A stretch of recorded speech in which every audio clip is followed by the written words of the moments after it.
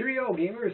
This is Kyle with another episode of Game Time. This is the second part of our uh, at games sort of flashback, uh, taking a look at all these uh, systems here. Um, I'm going to leave a link in the description to part one. Be sure to watch that one first.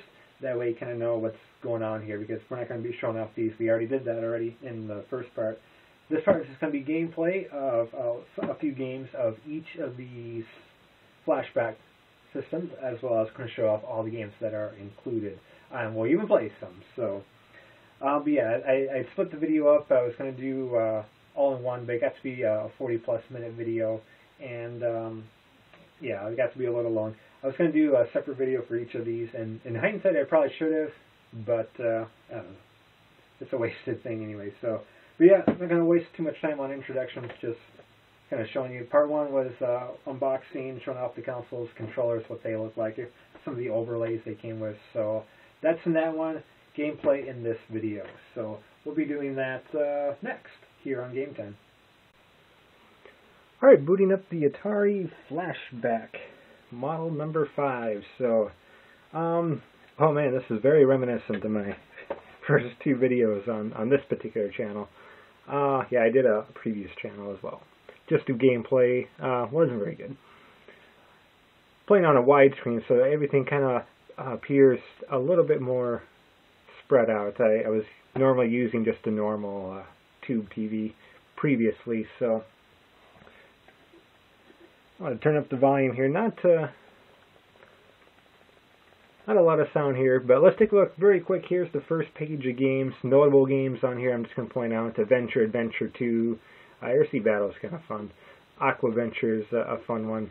Asteroids, of course. Astroblast, kind of a a little bit of a combination between asteroids and, and space invaders. You're on a ship uh, on the bottom of the screen. You're blasting upwards, but the uh, asteroids will break into pieces and whatnot. One thing with this too, to select a game, you have to kind of just go up and down on the joystick. You can't go left or right because that takes you to the next page. So if you want to uh, get to a game, you're going to have to scroll through them all. that's page one. Here's uh, page two, ten more games. Centipede, very fun. Uh, Breakout, of course, classic. So bowling's actually kind of a fun one too. I really enjoy that. Dodge 'Em very difficult. There's that Dark Cavern. We're going to be playing this one here in just a second.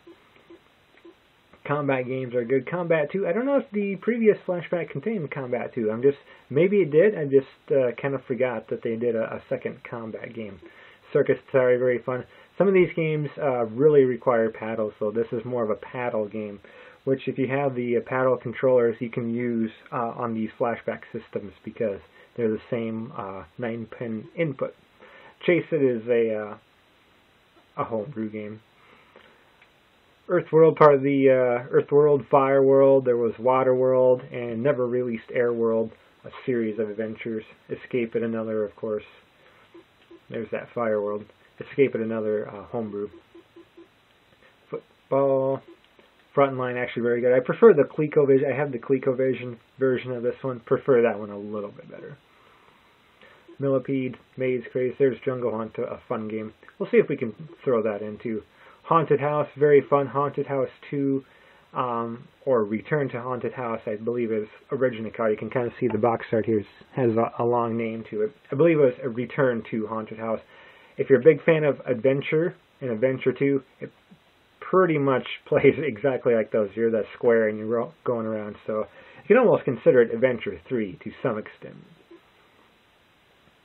Night Driver is actually a lot of fun. There's a game I was referring to earlier, Miss It kind of a homebrew game. Very addicting. I'll see if we can show that off to you, just a moment of that.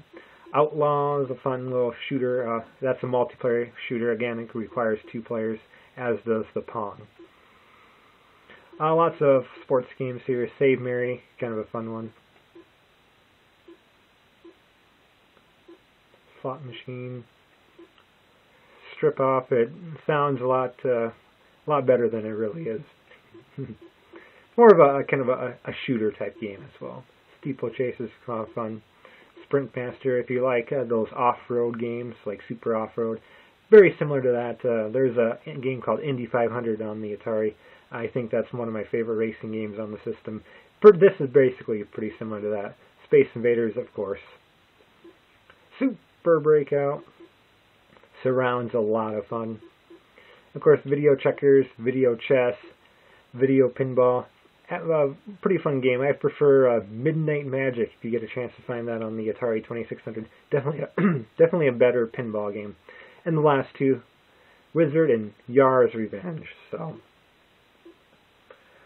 let's, uh, yeah, Dark Cavern here. Give you just a, like a minute of gameplay here.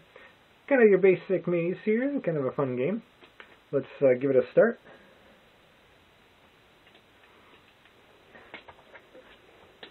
So we're this guy. We got a we have a gun. We can shoot these little uh, enemies here. They shoot back though, so you want to be quick and not do what I did and get shot back. Wait until this one passes. Oh god dang! Put on a good show. Those things will take away your ammunition. More guns right there. I mean, it's not safe to get out. All right. So kind of consider a little bit of a Pac Pac-Man game if Pac-Man uh, could shoot, and we're not collecting any pallets here. Oh, okay. I'm gonna get spiders will slow stop you there like so.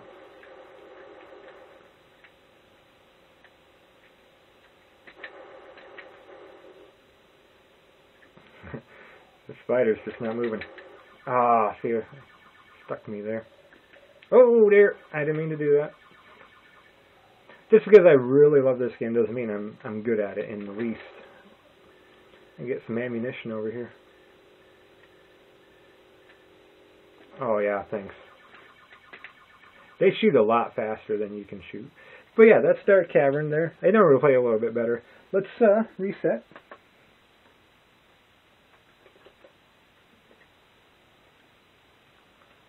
And What other one did I say we we try a little bit of? We'll try and miss it here. This is one of the uh, kind of homebrew games. So I'm this black square, and I'm basically just dodging these uh, multicolored squares that will appear on screen. Gets a lot harder uh, later on. This is one that I can actually do pretty well, believe me or not.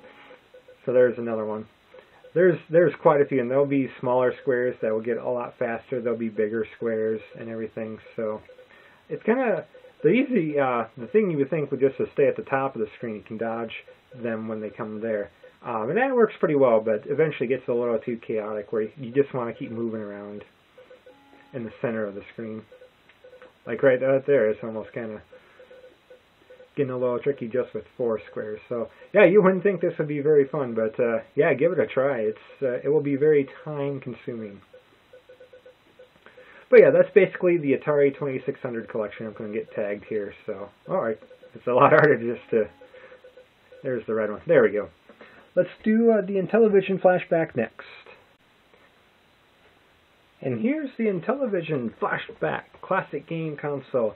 Uh, unfortunately, unlike the uh, Atari flashback we've just seen, they don't show the uh, the box art for those games up there, so that's kind of unfortunate. But it's basically the same setup, six pages, uh, ten games per page. Armor Battle and Astro Smash, I think, are some highlights there. Auto Racing's pretty fun. Bowling, a fun one. Not as fun as the Atari Bowling, in, in my opinion, but golf on the Intellivision actually works out pretty well. It's a little little bit to it, but I think uh, it works out pretty well. Brickout. I want to say this is a homebrew game. Like it wasn't part of the original Intellivision library. It it pretty much is Breakout from the Atari. Horse racing, Las Vegas roulette, some learning games. There, I haven't tried these. Math fun. Night Stalker is going to be playing out a lot like that Dark Cavern game uh, that I was playing pretty horribly on the Atari Flashback. Still really fun though, really fun. Pinball on the Intellivision, uh, unlike the video pinball on Atari, is actually pretty fun, but I still prefer the game Midnight Magic. Soccer Snafu is actually a lot of fun. We'll probably try that one. Shark Shark, kind of a, a, fun game where you're a fish and you have to eat uh, any fish that's smaller than you. You can uh, essentially eat by running into, but you have to dodge bigger fish as well as the shark. Space Spartan, Space Hawk, lots of space games here. Space Battle, Space Cadet. Sheesh. Stadium Mud, mud Buggies. This one's uh, interesting. I might have to throw that on just to show it off there. And the last stage there, kind of, kind of uh, some Utopia, Buttender Castle, Tennis, The Tower of Doom, which I believe is a Dungeons and Dragons game. Don't quote me on that one, but we booted up. It's going to play a lot like some of those Dungeons and Dragon games. So let's do pinball here.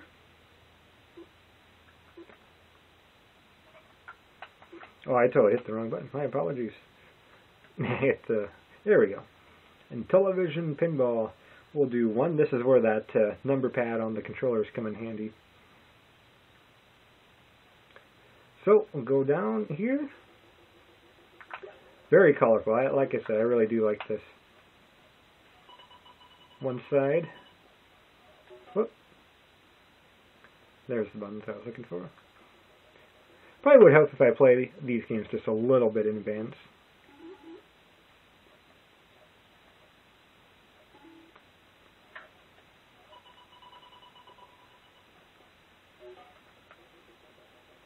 I'll get five balls. We'll just play three here. Well, okay, we'll play one.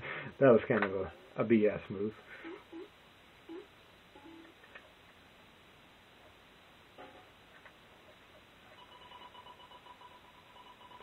Kind of like the way the uh, gravity works here too. They didn't really have that going for too much in the video pinball in the Atari flashback, but this game pulls it off pretty well, I think. Yeah, okay, that's cool. That's, uh, what the reset there. That's pinball. I actually really like that. That's pretty good pinball game. Let's play some Snafu here, and then we'll we'll see what the Coleco has to offer. Here's some Snafu. We'll just do game one. How many rounds? We'll do two rounds. Kind of short off there. So I'm just going to be this red snake, and you go around you kind of have to run into other players.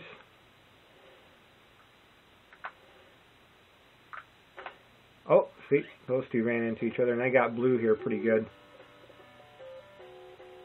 As long as I can get right to there. There we go, I win. And blue ran into himself, so that's one round. We'll do one more here. Very fun game. I think you can play this with two players.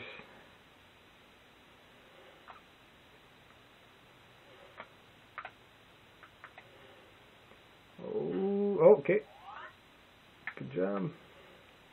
I got yellow pretty well, and blue's going to kind of commit suicide. So long as I can have some space to move. Yep, there we go.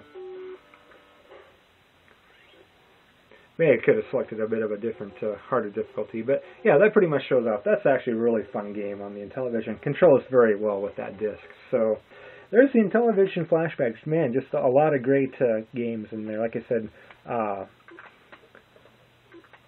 the bowling is pretty fun. Golf actually works pretty well. Racing, checkers, and chess on here as well. Brickouts, pretty much your uh, breakaway type games. So yeah, tons of fun stuff. Intellivision flashback, highly recommended as well.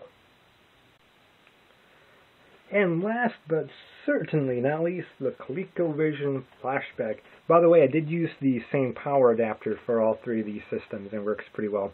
Um, unfortunately, each of the uh, little systems comes with their own audio-visual cables, so unless you have a TV with multiple inputs, you'll be switching out those AV cables. But unless you have multiple ones, you can keep them all plugged in and have 212 games at your disposal.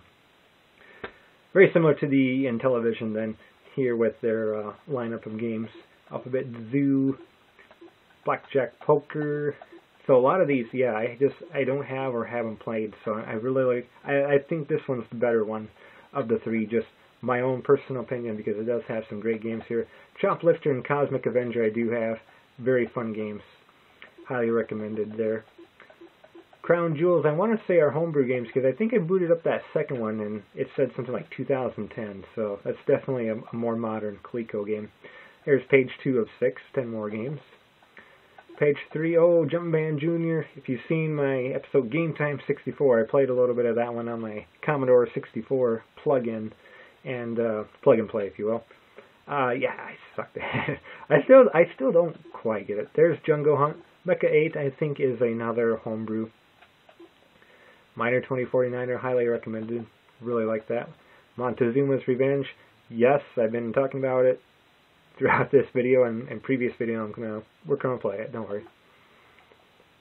Princess Quest is a homebrew game. It actually plays a lot like, uh, something like Ghost and Goblins, something like that. Mountain King. Oil's well. That's a weird one. I don't know. We might throw that one in there just to show how, how weird it is. Space Fury. You gotta have a couple good space games. Come on. Zaxxon. This one's actually from Sega, so I'm glad to see that in there. There's Venture, very highly recommended. Uh, almost, I want to say like Zelda, because you kind of get an overworld at the beginning of the game. You can go around uh, dodging enemies. You can't fight them or anything. But so then you get into these rooms or dungeons, and then you whip out your bow and arrow, and then that's where you fight enemies and collect a treasure that's in each room. So the heist is in there, really like the heist. So we might as well do uh, praising it all this time. Montezuma's Revenge. Might as well do that. We'll do it for a minute here. Here's my character, so I can kind of go around here. I can jump not very well. It's a little it's a little tricky. I have to dodge uh, the enemies there, kind of on screen, and I want to go and collect treasures for.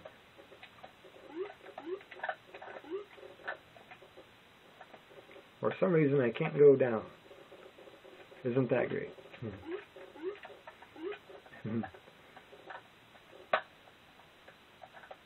That's weird.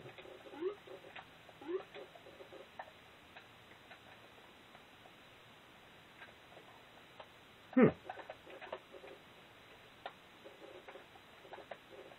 Oh, jeez.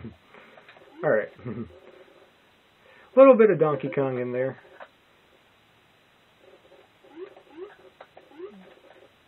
If I got that key, I'll be able to open up one of these doors. I think we want to go this way, though. A bit of a treasure there. Jump over Mr. Snake. Oh, Fire. Oh, okay.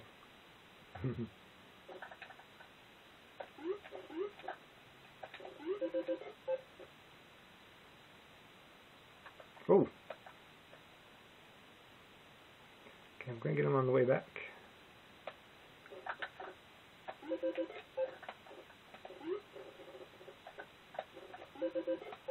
Couple good treasures here. A little bit of a pitfall thrown in. Oof. Probably going to take a hit on this one. Okay, never mind.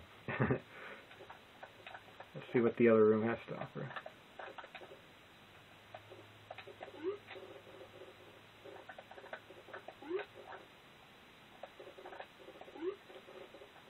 Hey, okay, there's where we need some keys, so we can definitely see uh, definitely some big influences. Uh, Donkey Kong, uh, Pitfall, a little bit of those, and I, I absolutely love both those games. So, oh, okay, that's what I. Yeah, that's that's hard to try to dodge one of those skulls there. Conveyor belts actually. Oh, conveyor belts work pretty well. See if I can at least get past this room here. Boy, an addicting game too. I was only to play a minute or so of it, but yeah, it's a little the the um, joystick uh, there is kind of a little uh, twitchy, if you will.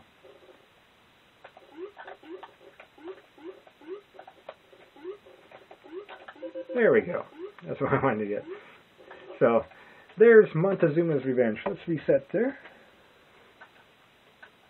I think a lot of us know what Jungle Hunt is. Jumpman Jr., I like it, but I Let's do uh, Princess Quest. No, let's see. Cosmic Avengers a lot uh, more of a common ColecoVision. We'll we'll do we will do Princess Quest here in just a moment. We'll play a minute here of this. Once in the uh, load times for some reason I don't know why they they throw that in, but a lot more of an authentic experience.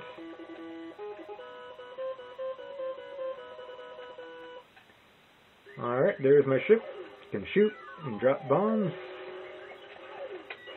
A little bit of a TIE fighter. I can move forward on the stick to go faster, or I can slow down. Yeah.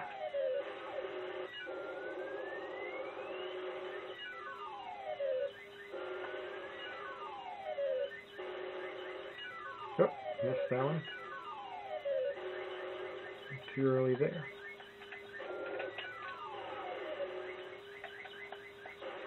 It's a bit like a defender, if you will. So that's Cosmic Avenger. Let's, so let's finish up. We'll do that uh, Princess Quest. Like I say, it kind of reminds me a little bit of uh, Ghost and Goblins.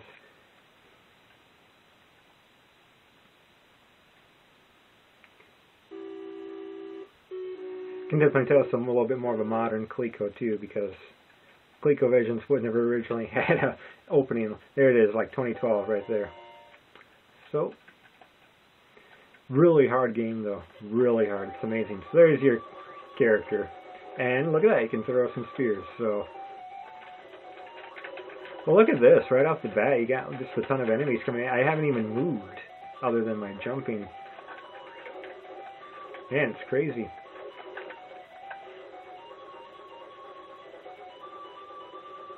Once you get up here, it's kind of hard to see your character. There's that yellow in the background. Makes seeing your character difficult. Yeah, and here's where the enemies come and kind of just ambush you. It's, it's a very difficult game. I mean, I'm used to NES hard, but...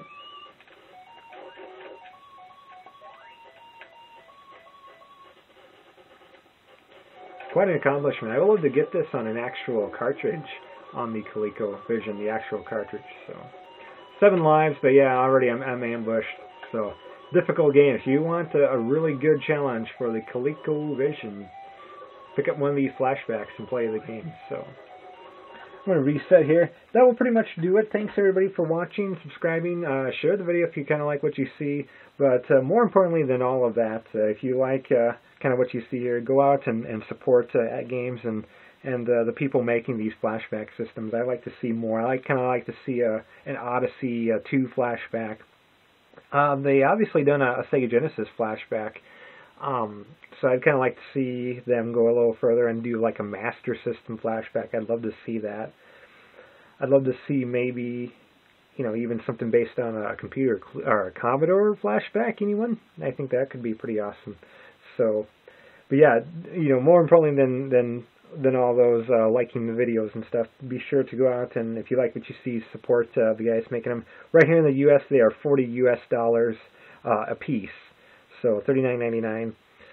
120 for all three of them. I think is a, are actually a really good uh, value for 212 games. So that's definitely uh, yeah under a dollar a game. So um, yeah, I can't I can't uh, speak highly enough of these. I, I like them all. I think they're all great. Uh, they're all faithfully recreated uh, to look like their console counterparts. I love the games that they add in, uh, add with these systems.